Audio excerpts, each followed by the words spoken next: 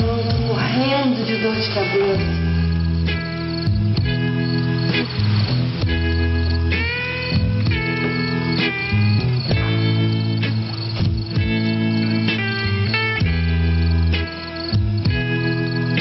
quer dizer com isso? Que eu sou uma prostituta? Hum. Uma enfermeira?